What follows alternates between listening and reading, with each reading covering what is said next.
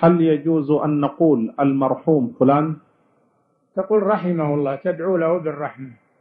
أما المرحوم لا تجزم له هذا جزم ولا المغفور له. تقول رحمه الله غفر الله له.